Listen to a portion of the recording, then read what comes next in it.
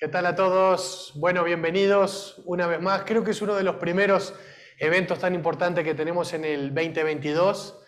Para mí es un honor empezar y empezar de esta manera, empezar con gente como eh, Nidec desde Japón, que confía en nosotros con estos dispositivos, unos amigos de S4 Optic que también ayudaron a poder tener esta tecnología magnífica, muchas gracias, y a un panel que ahora van a ver que es algo realmente espectacular. Eh, tenemos primero que nada al doctor Félix Gil, un gran referente, eh, un gran experto, pero también siempre me gusta decirlo, un gran comunicador.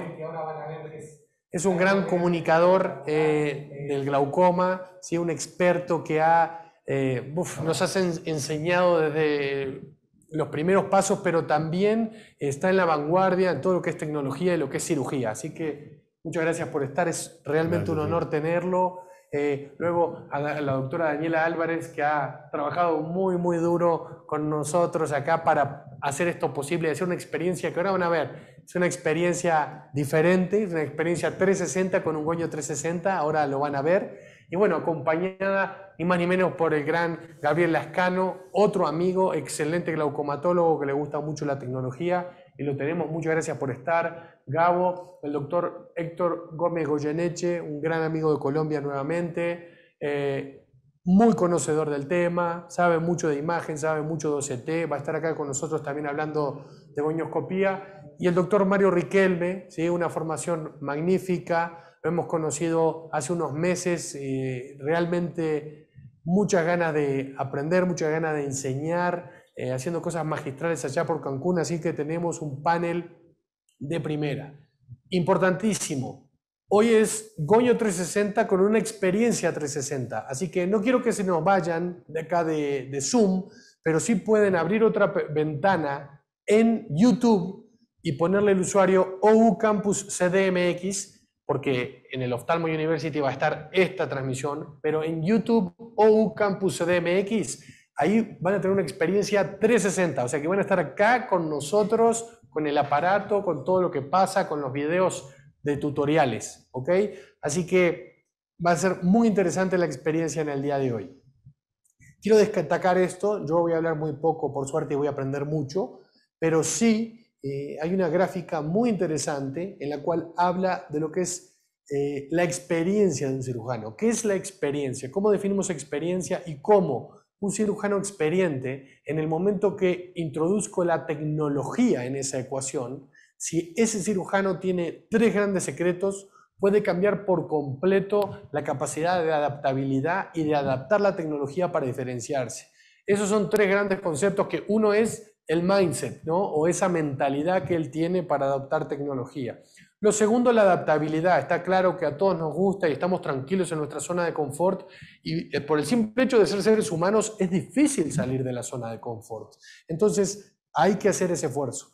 Tercero, el trabajo en equipo, que creo que es extremadamente importante. Y hoy quiero destacar y preguntarle a los expertos cómo un equipo de estas características no solamente cambia el diagnóstico y el tratamiento, pero también el workflow de una clínica en la cual hay volumen, de una clínica en donde hay un solo glaucomatólogo y hay mucho volumen, o donde no hay glaucomatólogos, o donde hay un cirujano de cataratas de alto volumen, pero que no hace eh, glaucoma. Creo que el aparato se adapta a muchas eh, realidades diferentes. ¿no? Entonces acá siempre me gusta destacar esto, el gran Joaquín Fernández de España siempre habla de este valor salud de la tecnología. Viene algo de tecnología a mí, ¿cómo la evalúo realmente? ¿Cómo se adapta a mí? ¿Qué valor tiene? Pero no solo económico, sino qué valor me puede dar a mí en retorno de inversión, cuál es el verdadero precio, cómo se adapta a mi estrategia como oftalmólogo, cómo se adapta a los procesos de mi clínica, ¿Cómo me ayuda al diagnóstico, al tratamiento y también a la educación al paciente que yo creo, en mi humilde opinión, que hoy el oftalmólogo es un educador prácticamente? Hoy, antes no, confiaban si hablábamos de fútbol, si hablábamos de religión, si hablábamos de política, y ahora vemos pacientes que nos vienen a ver y después quieren una segunda opinión, no confían ni en lo que hacemos, ¿no? yo siempre bromeo con eso, entonces, al ser un educador, creo que el paciente cambia esa relación con nosotros y nos aporta mucho. Y bueno, me toca entonces ahora sí escuchar a estos expertos. Daniela, muchas gracias por, por el trabajo que has hecho. Realmente Ha sido magistral, creo que va a ser una experiencia genial y vamos a hablar de esto que es tan importante como el presente y el futuro de la gonioscopía. Gracias, Ivo.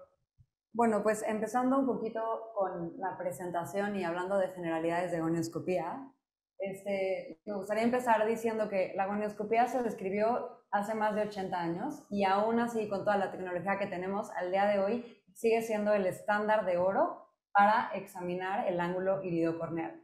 Sin embargo, eh, hablando de la gonioscopía en el mundo real y basándonos sobre todo eh, en papers publicados que se hacen eh, en diferentes países sobre los patrones de práctica, en Estados Unidos, en Europa, en Asia, muy pocos en América Latina, pero sabemos que realmente muy pocos oftalmólogos utilizan la gonioscopía como parte de su rutina en todos los pacientes de primera vez. De hecho, redondeando números de estos papers, podemos decir que Menos del 50% lo realiza de forma rutinaria en una consulta de primera vez y aproximadamente 15% en consultas de seguimiento.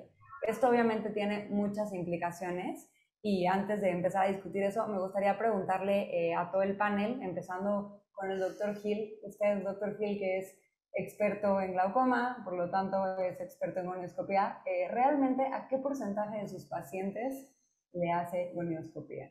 La palabra que dijiste fue gonioscopía. Sí. ¿Qué es eso? Eh? no, es un poco de broma, evidentemente, pero fíjate que yo sí le practico gonioscopía a todos mis pacientes. Okay. A mis pacientes de primera vez, porque a lo mejor mi consulta es un poco, está un poco desviada hacia pacientes con glaucoma, sospecha de glaucoma o complicaciones por glaucoma. Entonces, yo le practico la gonioscopía a todos los pacientes, a todos. Ok. ¿Y en sus consultas de seguimiento? Las consultas de seguimiento, mira, depende cómo vaya el paciente. Si el paciente está eh, evolucionando bien, generalmente a lo mejor repito la gonioscopía seis, ocho meses o un año después. Pero si el paciente, por ejemplo, está funcionando bien, con el tratamiento que le doy. Y después sube la presión y no me explico la causa, repito la gonioscopía. ¿Por qué? Porque yo pude haberme equivocado en la gonioscopía o porque el paciente puede tener cambios en la gonioscopía. Acordémonos que el crecimiento del cristalino puede modificar el tipo de ángulo. Excelente, eh, perfecto. Y ahora, eh, doctor Riquelme, no sé si usted nos quiera decir igual eh, a cuáles pacientes les hace gonioscopía eh, en su consulta diaria. Bueno, yo igual les hago a todos.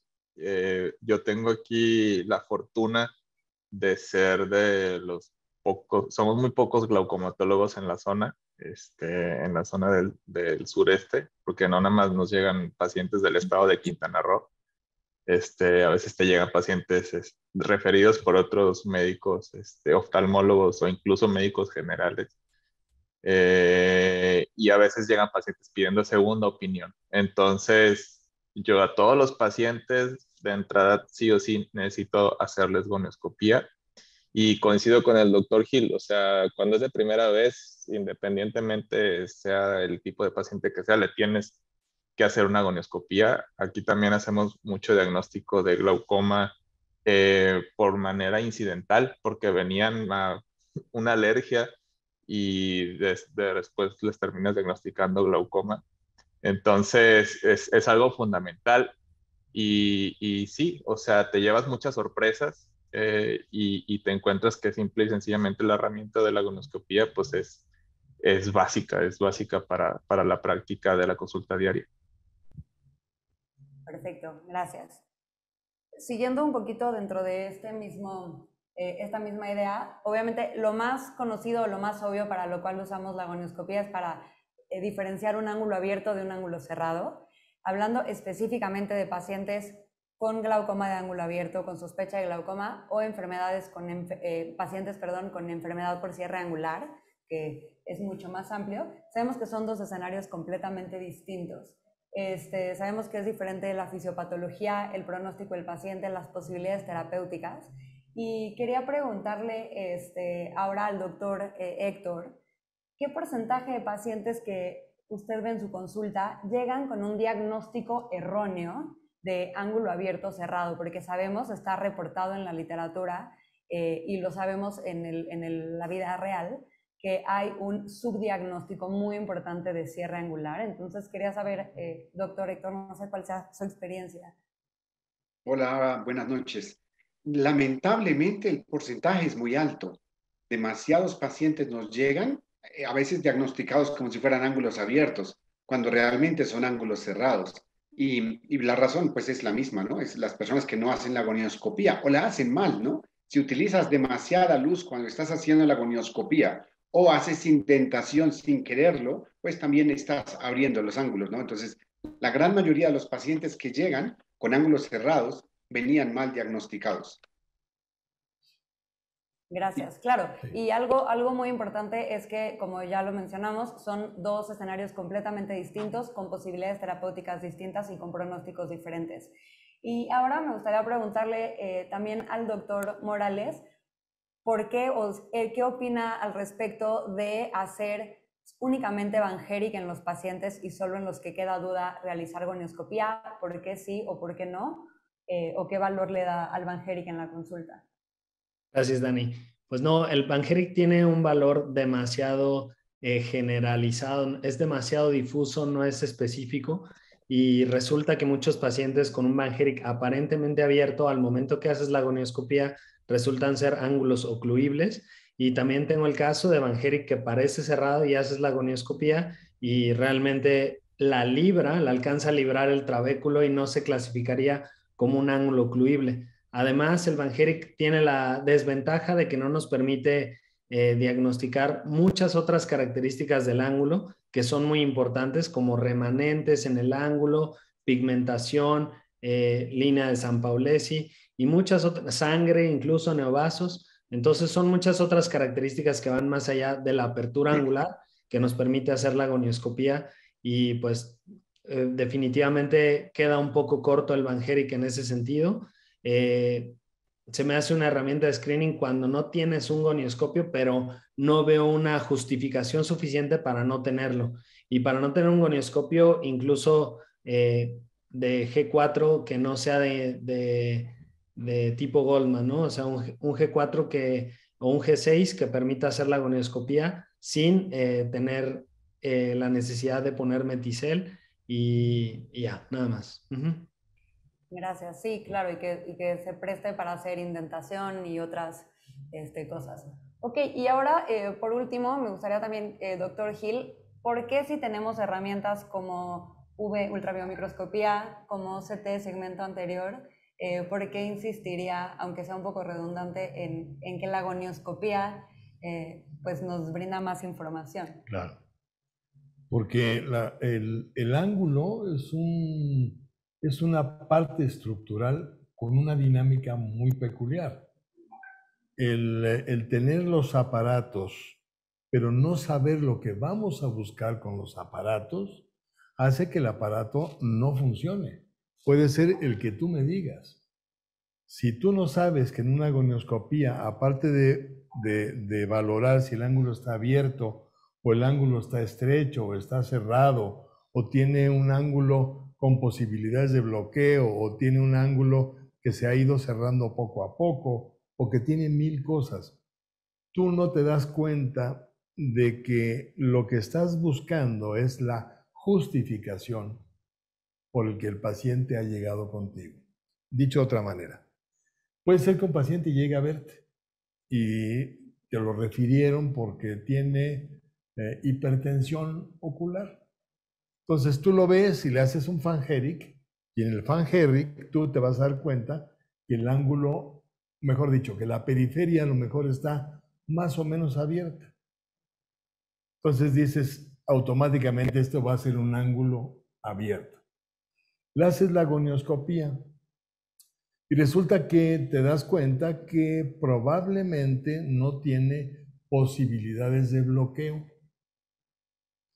pero es un ángulo que no está eh, en conformación de apertura normal, sino que a lo mejor es una inserción superior. A lo mejor lo que tiene es que eh, la emergencia del iris es una emergencia oblicua hacia arriba. Y entonces ya estás dando el diagnóstico fino y puedes explicar por qué ese paciente, aunque tenga un Fanceric abierto, el ángulo no está abierto. Hacer el diagnóstico de ángulo cerrado por bloqueo pupilar o ángulo abierto eh, quizás sea lo más eh, común, porque además es lo más simple, pero que tú le pongas apellidos a esa agonioscopía es lo más importante. Si tú dices, bueno, este es un ángulo que tiene un comportamiento de creeping, se ha ido cerrando en forma paulatina. Eso ya sabes tú lo que le va a pasar a ese paciente si vive lo suficiente en cinco años o en siete años o en seis meses, no lo sabes. Si el paciente tiene un ángulo abierto, pero ves que la inserción del iris es una inserción plana, oblicua hacia arriba, ¿me entiendes? Y que no alcanzas a ver bien la banda, el, el, receso eh, eh, del cuerpo ciliar, el receso ciliar, te vas a dar cuenta que ese paciente probablemente tenga disfunción cuando el cristalino aumente de tamaño después de los 50, 60 años de edad. Y así te puedo decir de mil cosas que por eso la agonioscopía, mientras más apellidos le pongas, va a ser mejor. Va a ser mejor, por supuesto, pensando siempre en el diagnóstico, en el pronóstico y en el procedimiento terapéutico que le vayas a hacer a tu paciente, ¿no? De acuerdo. Sí, totalmente, gracias. Y bueno, otra cosa muy importante que ya también eh, lo mencionaron es que la agonioscopia, además de ángulo abierto y cerrado, nos ayuda a ver otros diagnósticos. Ahorita podemos ver en la imagen eh, ejemplos de primera imagen glaucoma neovascular, eh, dispersión de pigmento, para seguimientos posoperatorios, por ejemplo, tenemos una trabeculectomía, tenemos también un iStent, tenemos silicona en cámara anterior, y tenemos también eh, neoplasias. Entonces, todos estos son ejemplos importantes de diagnósticos más allá de ángulo abierto y cerrado y de diagnósticos que se pueden hacer en el seguimiento, en una agonioscopia de seguimiento y además en cómo es una herramienta muy útil para el seguimiento posoperatorio. Eh, yo quisiera preguntarle al, al doctor Héctor, eh, cuando va a realizar qué procedimientos quirúrgicos siempre sí o sí hace agonioscopía preoperatoria. ¿Para qué tipo de procedimientos, ya sea láser o quirúrgicos, le parece que la agonioscopía es eh, importante? Realmente para todos, ¿no? No hay ningún procedimiento en glaucoma que pueda ignorar el estado del ángulo. Si es un ángulo abierto, porque vamos a encontrar pigmento, vamos a tener eh, hallazgos de morfología de iris que nos podrían eh, mejorar o empeorar el pronóstico, pero si es un ángulo cerrado, pues vamos a tener realmente eh, posibles complicaciones que vamos a tener durante esos procedimientos. O sea, no hay procedimiento en glaucoma que podamos hacer sin haber hecho previamente una agonioscopía. De acuerdo. Y ahora, eh, para el doctor Riquelme, ¿qué, a, qué cirugías utiliza como seguimiento la agonioscopía. Ya una vez que se realizó el procedimiento, si nos pudiera dar algunos ejemplos eh, en los cuales lo utiliza como seguimiento postoperatorio. Bueno, a mí me gusta mucho hacer este, esclerotomías profundas. Entonces es súper, súper, súper indispensable que sepas cómo está el ángulo, sobre todo en las primeras semanas, porque si necesitas hacer una este, gonio punción con el YAG, entonces lo tienes que identificar rápido. Eh, igual, para cualquier tipo de mix, pues necesitas también estar seguro que está bien colocado, que no se ha movido, que no se desplazó. Este, si tienes algún sangrado, si tienes que no se ocluye este, el ostium de, las, de, de, un Einstein, por ejemplo, que el iris no te está estorbando. Entonces, todos los, los, este, los mix son muy sensibles a, a oclusiones las primeras semanas y, y también la esclerotomía profunda es muy sensible a eh, que se colapse la, el reservorio en las primeras semanas. Entonces, la gonoscopía te sirve, o sea, sí o sí para un correcto seguimiento en los primeros este, días y semanas de, de estos procedimientos. Sí, súper. Y por último, eh, al doctor Morales, que en alguna cirugía que no sea de glaucoma, utiliza la agonioscopía para seguimiento posoperatorio? Pues es una buena pregunta. La verdad, yo intento, como muchos de los que han descrito aquí, hacer gonioscopía en, en la mayoría de los pacientes en todas las consultas, en un gran porcentaje de las consultas. Entonces la respuesta ahí sería que trato de hacerla en gran parte de los procedimientos, particularmente en los procedimientos corneales, las primeras revisiones postoperatorias, quizá a veces ahí sí lo evite, pues con darle no hacer movimientos sobre la córnea, eh, sobre un flap, sobre un injerto en QPP, pero pasando la, e, esa pequeña ventana sensible, sí vuelvo a hacerla en todos. Es muy importante hacerla en QPP, es muy importante eh, saber cómo se está comportando el ángulo después de una queratoplastia penetrante. Lo veo también importante en otras cirugías, por ejemplo, de retina, en las cuales queremos saber si no se está haciendo un cierre angular que no sea, eh, que sea irreversible, que sea sinequial. Y también me parece importante hacerlo en la gran parte de la cirugía. Si acaso, por ejemplo, en las de párpados que yo ya la presenté a mi OCPóloga, ella ya hizo la cirugía de párpados, pues en las primeras revisiones me importa más que la oculoplástica esté a gusto revisando todo y no le voy a decir, a ver, permíteme, voy a hacer la gonioscopía, sino ya una vez pasando su época, la, la temporada más sensible sobre la cirugía, ya volvemos a realizar gonioscopía. Y entre más ángulos normales veamos, más vamos a tener la sensibilidad de detectar lo anormal. Entonces, por eso sí, sí la hago en, después de procedimientos que no son glaucoma, de glaucoma. Perfecto, gracias. Este, bueno, y ahora hablando un poquito de las implicaciones que, tiene la gonioscopía para un oftalmólogo que no es especialista en glaucoma, sabemos y es importante mencionar que la curva de aprendizaje de la gonioscopía este, pues es un poco más compleja o de las partes más complejas de la revisión este, clínica, que eh, las personas que no tienen la curva de aprendizaje completa tienen alta variabilidad y poca repetibilidad de sus mediciones. Algo muy importante es que podemos ver en pacientes que tienen seguimiento especialmente con diferentes médicos, pero también pasa en un mismo expediente, un mismo doctor, que hay una mala documentación del ángulo, hay muchos sistemas, algunos dibujan, algunos usan a veces una documentación otra, no se usa tanto la agoniofotografía, entonces la documentación, sobre todo en cuanto al seguimiento, pues es difícil. El tiempo de consulta invertido, eh, la incomodidad del paciente, eh, es otra de las implicaciones para los no especialistas en glaucoma. Y algo muy importante, lo que ya se habló un poco también, es esta confusión diagnóstica cuando es un skill no dominado, que creo que muchos eh, especialistas en glaucoma lo vemos cuando nos envían algunas este, interconsultas.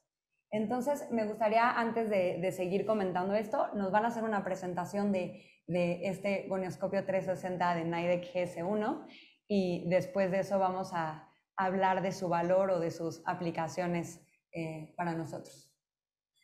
Bueno, ahora me toca un poco a mí tratar de hablar del equipo. Estuve viendo atentamente lo que se discute, haciendo el mea culpa eh, de que en realidad, yo voy a ser honesto, o sea, yo soy un oftalmólogo que me gusta hacer todos los estudios, ¿sí? que, creo que la gonioscopía tiene un rol fundamental. Sin embargo, tengo siempre esa sensación, esa duda. O sea, yo hago la gonioscopía, creo que la hago técnicamente de forma correcta, pero siempre me quedo con algo de duda. Y creo que hay muchos colegas que no, que no son glaucomatólogos que deben compartir esa sensación. Y cómo, cómo, bueno, cómo es difícil, por lo menos empiezo por, por aceptarlo y a ver qué puedo hacer al respecto. Eh, creo que este equipo aporta muchas cosas más allá de, de documentarla y verla. Eh, creo que no le quita valor a la gonioscopía dinámica hecha por un experto. Eh, en absoluto, pero bueno, creo que es importante ir a la tecnología y, a veces eh, cortar ese primer miedo que uno tiene, bueno, ¿cómo funcionará? ¿Qué pasará? Entonces, a los que están viendo la experiencia 360, me voy a ir con la, me voy a ir ya eh, con el aparato, vamos a tratar de hacer un, las imágenes son espectaculares, pero vamos a hacer la toma de una manera muy rápida. atrás hay un video corriendo, Uh, and I'm going to talk in English for two seconds because today it's a very important day for a great friend that is Yuki. Uh, Yuki, uh, it's an amazing friend from Nidec that has seen this machine grow since it was a prototype. So I want to thank him and congratulate him that there are so many colleagues seeing this amazing technology, you know, um, be, being born. I don't know if you have some, some words to say to us, Yuki.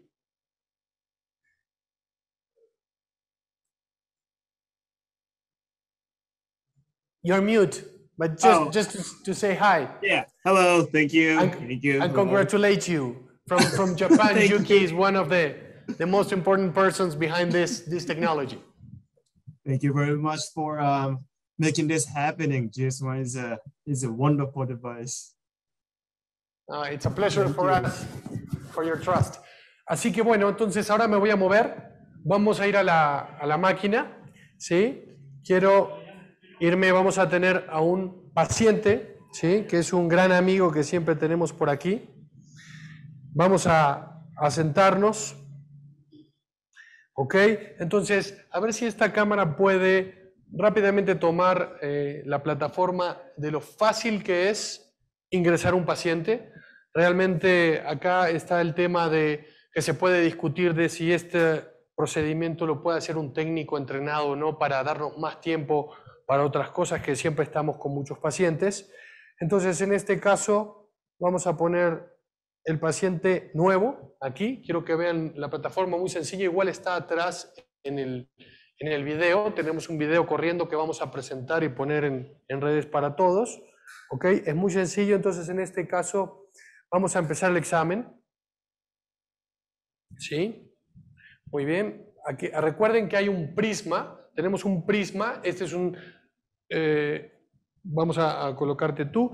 Y es un estudio de contacto. ¿Ok? Entonces tenemos un prisma que tenemos que cuidar mucho y una luz que va girando en todos los ángulos. Primero hay que poner una gota de anestésico. Vamos a hacer nuestro paciente, que es Rodrigo, un asistente nuestro, un gran amigo que se presta para hacer una correcta gonioscopía. Mira para arriba. Vamos a poner una gota, ¿sí? Vamos a pedirte, eh, a ver si me ayudan un poco con el gel. Juan Carlos. Entonces, Juan Carlos es otro de nuestros asistentes. Es importante que tenemos un gel especial que vamos a poner en el dispositivo para realizar el procedimiento. El procedimiento, entonces, lo que vemos nosotros es una interfase que tiene cuatro cámaras, ¿sí? Y en la cual tenemos un punto verde que tenemos que, tenemos que alinear a un rectángulo amarillo. Así de sencillo, ¿ok?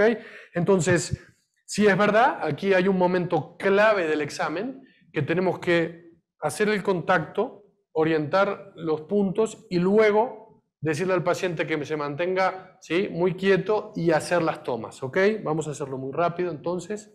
Rodrigo, frente, muy bien. Frente de adelante, vamos a levantar los dos párpados aquí. Vamos a ver por afuera, me gusta mucho ver por afuera y acercarme. Bien grande, grande, grande, mirando adelante, abre los dos ojos. Perfecto, como ven ahí, miren, ahí tengo los cuatro puntos. A ver si los dejo ver por ahí. Abre grande. Si se mueve el paciente nuevamente, miro por fuera, me acerco, bien quietito ahí, abre grande. Miren ahí qué bonito, estamos ya viendo el ángulo. Perfecto aquí. Muy bien, vamos una tercera vez. Quietito ahí, mira, mira bien adelante. Ahí estás. Miren ahí, perfecto. Y vamos a tomar la toma. Le pedimos que se quede quieto. Y ahí el aparato va tomando las tomas. Miren, excelente. Me voy a mover para que la vean. Vamos viendo todo el ángulo en sus 360 grados.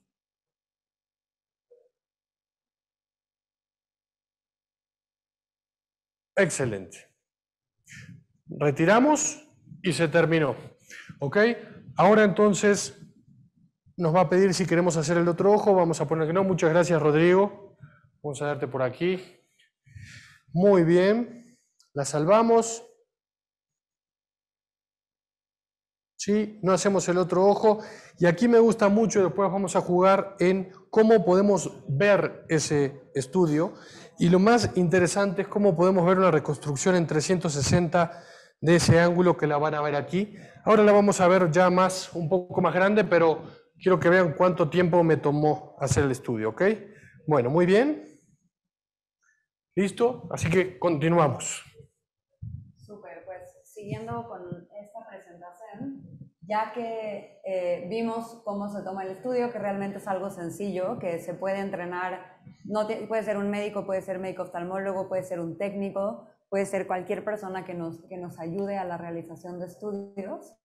Este, y arroja varias imágenes. Aquí vemos cómo arroja el 360 redondo. Podemos ver que también nos da una imagen alargada y nos marca la parte superior nasal, inferior temporal. Eh, y también nos da cada imagen eh, de cada parte del ángulo por separado. Entonces, eh, bueno, ahorita quiero que hablemos un poquito de si le ven algún valor a un aparato como es este Gonio 360. el primer punto en el cual me gustaría su opinión es en el workflow o en el flujo de trabajo pensando en eh, estos modelos en los cuales hay un alto volumen, por ejemplo, en los cuales el paciente tiene poco tiempo con el especialista, que ya entran algunas veces con agudeza visual, algunas veces con algún método incluso de tonometría. ¿Qué pensarían o qué opinan de que llegue ya el paciente con estas imágenes de gonioscopía eh, para maximizar volumen, para aumentar el tiempo de valor que tiene el paciente con el médico? No sé qué opine eh, doctor Félix Gil. Esa es una pregunta un poco difícil. Te voy a decir por qué. Porque, ok, esto puede servir en, eh, lugares donde se ven gran cantidad de pacientes y donde a lo mejor el paciente va a una revisión general. Hacer un estudio de estos puede ser conveniente. Eh, tiene algunas limitaciones por lo que puedo ver. O sea, no hay manera de hacer una indentación, no hay manera de saber eh, exactamente eh, qué tanto se mueve el sector superior, qué tanto se mueve el sector inferior. Pero así, en forma general, me parece que para una revisión de, grandes eh, volúmenes o de gran volumen de pacientes, puede ser útil para que a mí ya oftalmólogo me llegue esto. Ahora, claro que cuando yo recibo esto, yo oftalmólogo general, veo algo que no me gusta o que sí me gusta, entonces la agonioscopía clínica debe ser fundamental. Esto debe ser considerado desde mi punto de vista una ayuda importante. ¿Por qué? Porque puedo ver una gran cantidad de pacientes en muy poco tiempo, que tengo la documentación fotográfica que se va a quedar ahí per se, y que de alguna manera me va a permitir que yo tenga la posibilidad de un diagnóstico temprano y cuando el diagnóstico sea tan sencillo que una agonioscopía simple, sin mayores eh, trucos, me pueda dar la imagen. O sea, yo puedo valorar con una agonioscopía eh, con, con, con, esta máquina, por ejemplo, si tengo una línea de San Paulesi, si tengo pigmento en la periferia del iris, si veo que hay atrofia, si veo que hay neovascularización. Más precisión a lo mejor no, pero con eso ya ganaste un tamaño de este, de este grueso, ¿me entiendes? Para el diagnóstico de tu paciente. Entonces, yo creo que a nivel de una, de una clínica de, revisión eh, masiva de pacientes, esto tiene mucha importancia. Eh, me gustaría, desde luego, tener la experiencia y saber ¿Qué puedo sacar yo de una máquina así?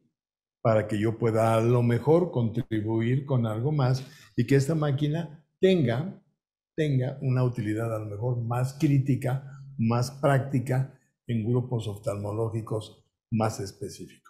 Me parece que puede ser de utilidad, no tengo la experiencia, ya vi que Ivo lo hizo muy bien y muy rápido, todo muy, todo muy bonito, pero eh, no sé cómo esté la curva de aprendizaje para esta máquina. ¿Cómo está la curva de aprendizaje, Ivo? No, ahí realmente eh, hay que tenerla, creo que en ese video que estamos viendo por ahí, que luego lo vamos a compartir, eh, tiene sus tips. Realmente es importante preparar al paciente, porque como ven hay unas luces que van, ¿no? Pueden distraer porque las luces van rotando y es clave justo ahí en ese punto, ¿sí? enfocarse en los cuatro, ahí son cuatro rectángulos con cuatro puntos verdes y no voy a negar que sí tiene una curva de aprendizaje. Y ahí es donde ¿no? debemos, justo lo que decía, tener el mindset abierto de, de darle la chance a la tecnología, eh, pero ahí es donde creo que puede estar el limitante. El implante.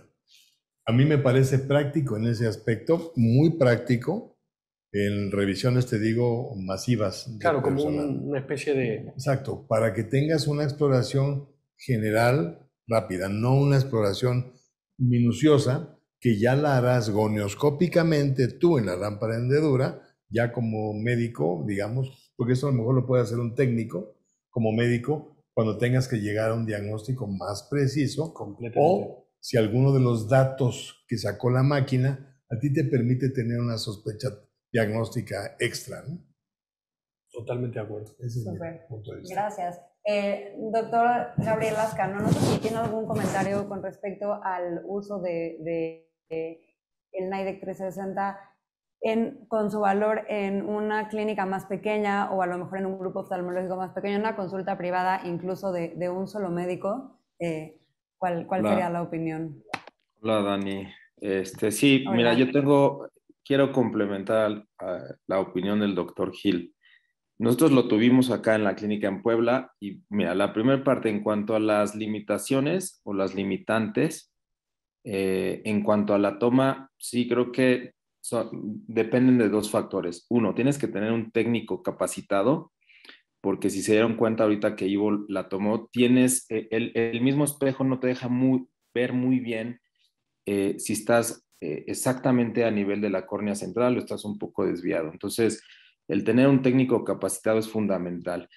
Y número dos, las condiciones del paciente. Necesitas también un paciente cooperador, ¿no? No nada más que pueda quedarse mirando de frente unos cuantos segundos, pero también que aguante que algunas condiciones como las tosis palpebrales, distriquiasis, eh, algunos lagoftalmos, o sea, patologías frecuentes en los pacientes de edad, limitan un poco la, toma, ¿no? Entonces necesitas los dos, un buen técnico y un paciente eh, ideal para este estudio.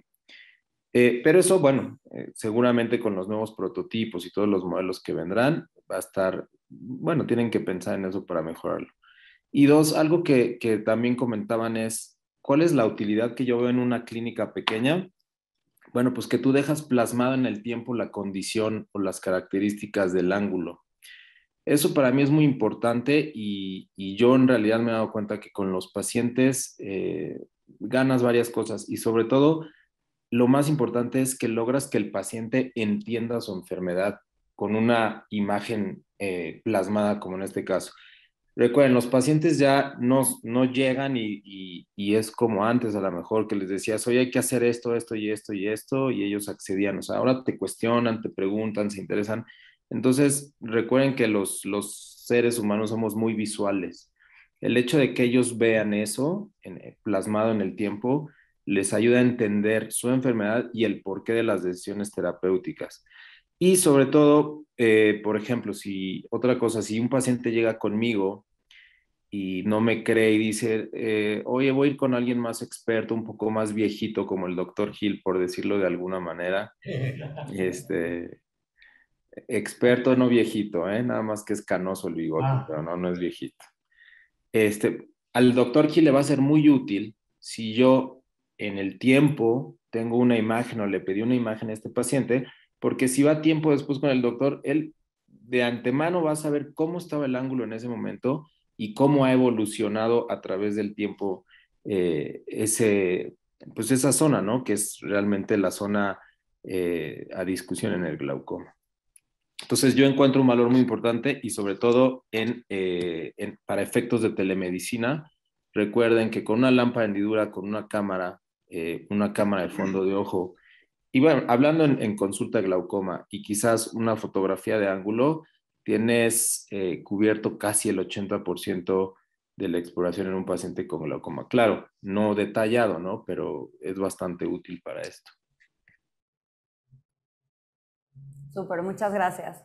Este, bueno, ahorita un poco en el mismo tenor de lo que hablaba eh, Gabo sobre la documentación, quería saber, eh, doctor Fernando, eh, ¿cómo, ¿cómo usualmente documenta sus ángulos, los ángulos de los pacientes, tanto en la primera vez como en el seguimiento, este, y qué valor le ve a la, a la documentación eh, y qué valor le vería a tener este aparato para poder documentar a sus pacientes. Sí, justo era lo que, lo, lo que está alzando la mano. Ah, y básicamente es, el glaucoma es una enfermedad lentamente progresiva y necesitamos documentar la presión intraocular, ¿cierto? Que lo hacemos en cada visita, pero también necesitamos documentar cómo está la gonioscopía en cada visita, porque fíjense que va cambiando. Pacientes con iridotomía también se van cerrando los ángulos a través del tiempo. Uno ve, había escrito en su historia que eran ángulos 3 y luego los estás viendo y son ángulos 2. Y asimismo estás documentando el nervio óptico, ¿cierto? Disco óptico le estás tomando una foto por lo menos una vez cada año. Entonces, simplemente la gonioscopía estaba atrasada porque no tenía esa forma de documentarse como debería hacerlo. Entonces, ahora tenemos un criterio adicional tenemos la presión intraocular, tenemos la gonioscopía, tenemos los discos y lógicamente pues todos los otros exámenes de OCT, campimetría, etcétera, etcétera. Pero si logramos mantenerlo durante el tiempo, pues nos va a dar una información mucho más útil. Lo que usábamos tradicionalmente era nuestro lente Magna View y con ese Magna View tomábamos unas fotitos de vez en cuando cuando encontrábamos algo que era muy interesante. Pero el resto era solamente clasificación de Schaefer y en la historia simplemente colocábamos si era 1, 2, 3 o 4 y si había algún hallazgo interesante como pigmentación irregular o posición angular, etcétera. Pero realmente era todo más bien eh, manual porque no teníamos realmente cómo tomarle foto a todos los pacientes. Ahora, por ejemplo, los meses que tuvimos el equipo con nosotros, lo colocamos al lado de la lámpara de hendidura de uno de los consultorios y todos los pacientes que pasaban por ese lugar tenían de una vez con su evaluación tonométrica, gonioscópica, su disco óptico y les tomábamos la foto. Lógicamente había un consultorio dedicado a, porque era solamente un equipo, donde siempre que el paciente pasaba por ahí, eh, le hacíamos todas las tomas. Y algunos de los estudiantes con los cuales eh, trabajamos, eh, que son médicos generales, pues entrenaron muy bien en hacer las tomas y tuvimos un montón de hallazgos interesantes eh, y eso solamente viendo 20 pacientes diarios. Pero con el solo hecho de ver esos 20 pacientes diarios, detectamos un montón de eh, hallazgos o de patologías que de otra forma nunca hubiéramos visto, incluido un, una, un melanocitoma o, una, o, una, o un neuscoroideo. Super, muchas gracias. Eh, y ahora también hablando un poco de, lo mismo, pero eh, ahondando un poco en la importancia que tiene en la educación al paciente, eh, no sé, de doctor Morales, si normalmente acostumbra sí mostrarle imágenes al paciente y algo que me gustaría tocar es, eh, está muy reportado en, en diferentes papers que una vez que el paciente entiende su condición, su adherencia y su actitud ante la enfermedad cambia, eh, la factibilidad de que acepte cierto procedimiento, etc. Entonces, quería saber eh, justo su opinión al respecto de, de, una tecnología como esta para educación al paciente. Bueno, muchas gracias, Dani. Pues se me hace una documentación cualitativa muy importante que antes no teníamos. Realmente los fotogonioscopistas son escasos incluso entre las sociedades de fotógrafos oftalmológicos, porque hay sociedades, para los que no sepan, de fotografía oftalmológica solamente, ¿no? Que incluye oftalmólogos y técnicos optometristas que se juntan justo para ver quién obtiene la mejor imagen de cierto estudio, del nervio, de la gonioscopía. E incluso dentro de esas sociedades, los que logran buenas imágenes de gonioscopía son los menos. Eso significa que la posibilidad de que tengas una fotogonioscopía de alta calidad es baja entre las prácticas. Entonces, es ya decir 360, pues es casi imposible. Yo en lo particular hago videogonioscopías con todas las herramientas que tienen para fijación del celular y pues eso para mí me ha ayudado mucho a mostrarle al paciente con una videogonioscopía qué es lo que está pasando. Aún así, hay dificultad porque el paciente a veces se fija más hasta en el reflejo de la lámpara. Ah, pero ¿qué es eso que tengo adentro? No, señor, esa es la lámpara de mi consultorio, esa es la pantalla que está reflejando en su córnea, ¿no? Pero definitivamente una vez que lo entienden y pueden captar ya poniéndolo en video, en un modelo, mostrándoles lo normal contra lo que es su patología, pues definitivamente el paciente entiende cosas y nos ayuda muchísimo a mostrarle un antes y un después de cualquier intervención que querramos hacer, ¿no? Aquí veo dos grandes limitantes de esta imagen, aunque es muy bonita y muy, muy explícita por ser 360, es que nos evita tener gonioscopía dinámica, o sea, ahí definitivamente si vemos uno abierto, pero sospechamos de que pudiera estar cerrando, de todas maneras voy a tener que hacer gonioscopía y redocumentar todo, ¿no? Y si está cerrado, como en el que mostraron hace rato, ejemplo, que una parte se ve abierta y la otra cerrada, pues voy a tener que hacer gonioscopía para ver el potencial de apertura de esa área cerrada, ¿no? Y otra muy importante, pues es la iluminación, que la luz que está girando eh, va a contraer la pupila y nos va a permitir, bueno, va a terminar subestimando algunos de los casos de eh, enfermedad por cierre angular que a lo mejor hubieran sido fáciles de detectar por gonioscopía. Pero dejando eso de lado, esta nos permite ahora sí ser muy específicos y si el paciente tiene el ángulo cerrado ahí, nos va a permitir hacer muchísimo en cuanto a documentación, explicación del paciente y tratamiento, comparaciones pre y post en la investigación. Gracias.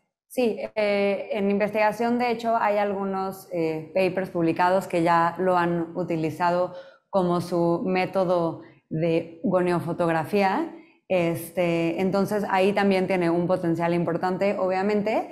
Y eh, quería saber la opinión del doctor Riquelme sobre implicaciones de tener tantas imágenes gonioscópicas para eh, la inteligencia artificial o el big data que sabemos que hoy en día ya es como el futuro de muchísimos conocimientos.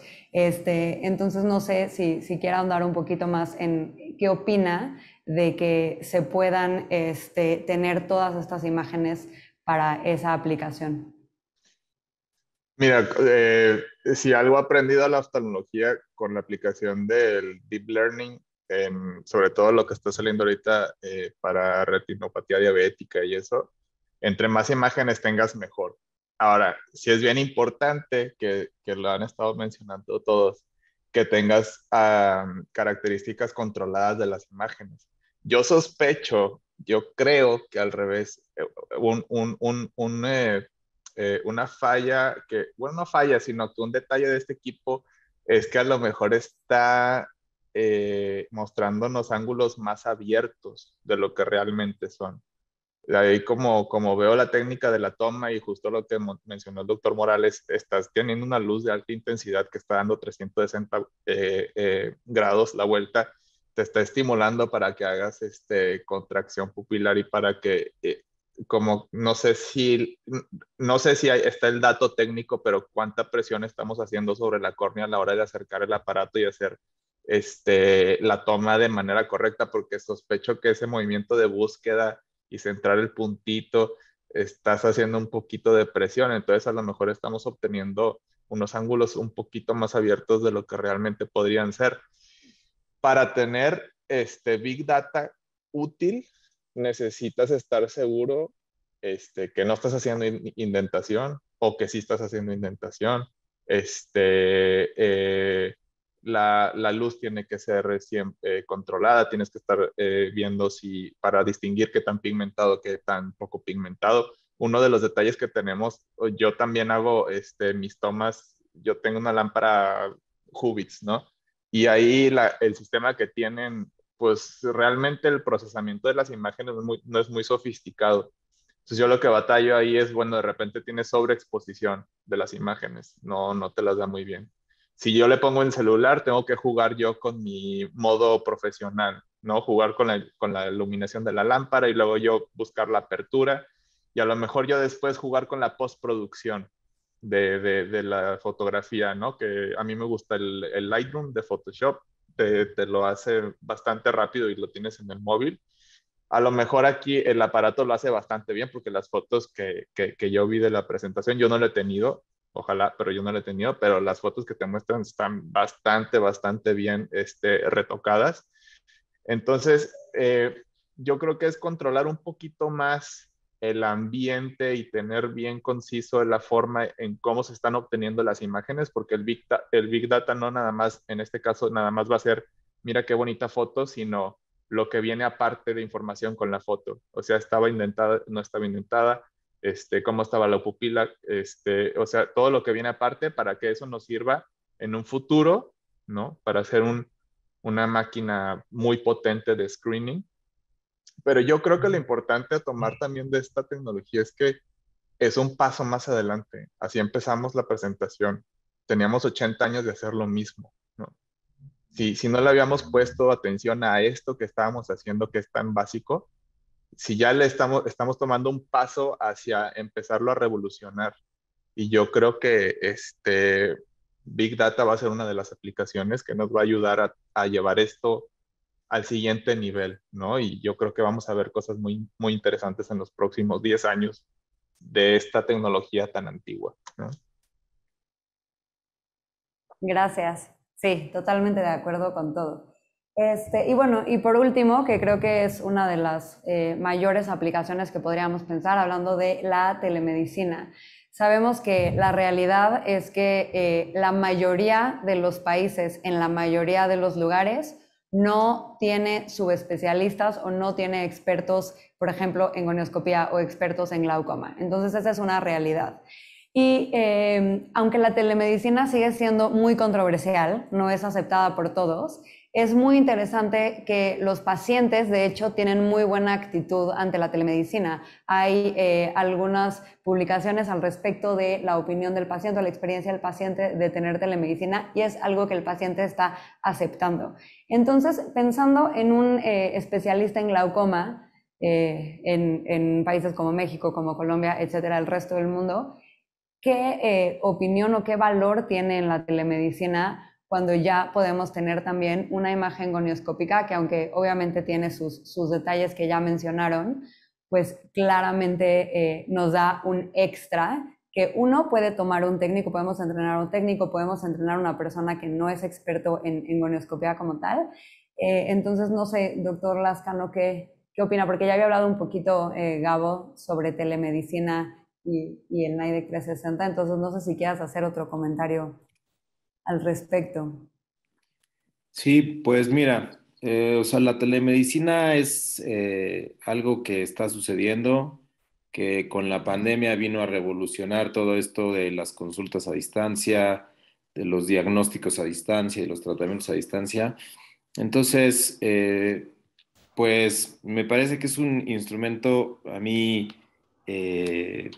pues pionero en esto de documentación del ángulo, que Fíjense, o sea, interesante lo que todos han dicho y sobre todo eh, te va a permitir hacer diagnósticos a distancia y, sobre todo lo más importante del diagnóstico de un paciente con glaucoma es categorizar al glaucoma.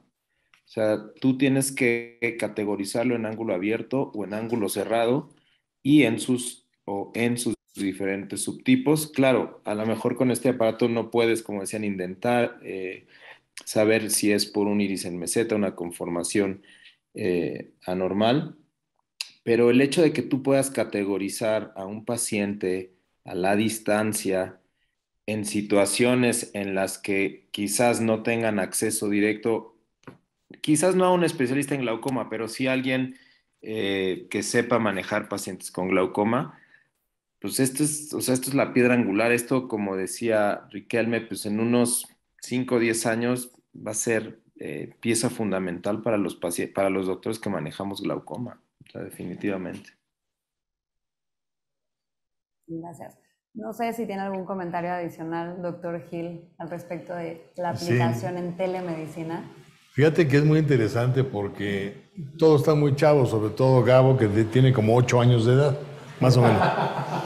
Pero en realidad, cuando empezamos con algo que ya está muy eh, depurado tecnológicamente, que son las fotografías de fondo de ojo, las fotografías de papila, las primeras, eh, los primeros, las primeras cámaras, los primeros aparatos para sacar eh, fotografías de fondo de ojo eran terriblemente, ¿qué voy a decir?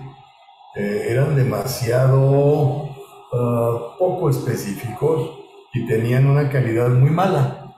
Pero estábamos felices porque por primera vez estaban sacando fotografías de papila.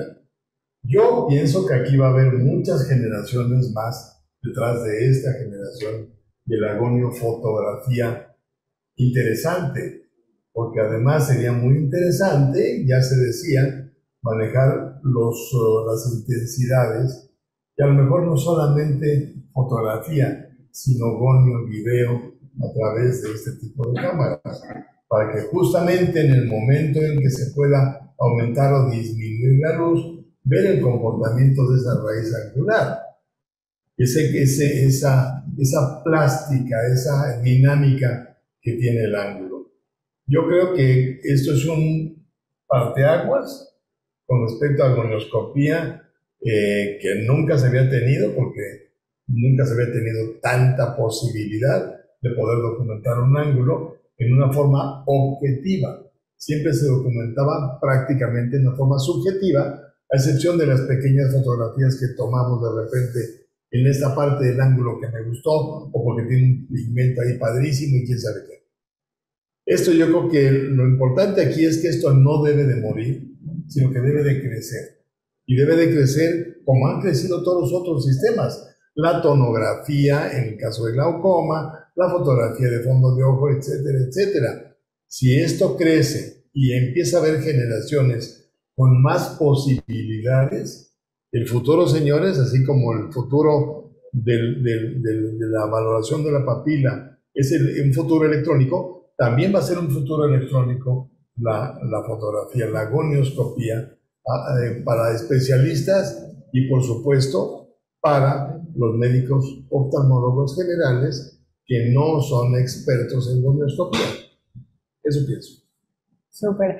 Y por último, el doctor Fernando, que ya, ya probó, tuvo la, la, oportunidad de tenerlo, no sé si quiere hacer algún comentario adicional sobre su, su uso o su valor eh, en telemedicina o, general, algo que quiera agregar que ya tuvo la experiencia. Pues eh, en, en general, como telemedicina no lo hemos usado, pero lo importante es tener el contexto completo, ¿no? Porque el examen solito no tendría valor si no fuera con el resto de la valoración oftalmológica, ¿no? No, podríamos mandar angulitos solos eh, sin tener realmente toda la valoración eh, oftalmológica, pero en telemedicina todavía no hemos tenido ninguna experiencia. Perfecto. Eh, pues básicamente eso eran los, los temas que, que, queríamos tocar. No sé tú, Ivo, como oftalmólogo no especialista en glaucoma, si quieras agregar algo, si tengas preguntas. Y, me, gusta, me gusta mucho el rol que me toca hoy, porque es algo que deberíamos hacer muchos y no lo estamos haciendo, vamos a ser honestos y directos. Eh, algo de mucha relevancia, de que cambia por completo muchas terapéuticas, deberíamos hacerlo de manera arreglada y tú mostraste la evidencia, ¿no? O sea, hay mucha gente que no, no lo está haciendo o si lo está haciendo tiene muchas dudas y a su vez es muy subjetivo, no es reproducible. Entonces creo que por ahí hay, una gran área de oportunidad. Por otro lado, me encantó la objetividad de todo el panel, ¿sí? de hablar de la tecnología, como siempre, ¿no? La tecnología aporta cosas, pero hay que ser críticos de una manera constructiva, ¿no? Que le falta la parte dinámica y también que el paciente pueda eh, colaborar de la mejor manera y que obviamente cada vez sea más técnico independiente. Eh, Ahora sí aporta, y, me gustó mucho lo que decías, eh, Dani, del tema de patologías que a veces no, no, nos quedan tan claras, ¿no? O sea, no es solamente ángulo abierto, ángulo cerrado, podemos ver neovasos, podemos ver tumores, podemos ver neoplasias, podemos ver muchas cosas. Yo valoro mucho la, la objetividad del, panel y también de que cada uno le dio su parte personal, o sea, cada uno tiene un tipo de clínica diferente y cada uno habló de cómo la adaptaría a su, a su clínica. Así que yo me voy muy contento, ojalá que sea el primero de ambos y como decía el doctor Félix Gil, que esta tecnología que vino a, ¿no? tecnología disruptiva que vino a hacer un hito, siga evolucionando. Así que bueno, agradecerle al panel. Me gustaría, sí, un, un último mensaje de cada uno del panel empezando allá por Mario, por Cancún, que tendremos que ir a visitar pronto. Sí, sí, te hace falta un bronceador, hermano, te falta.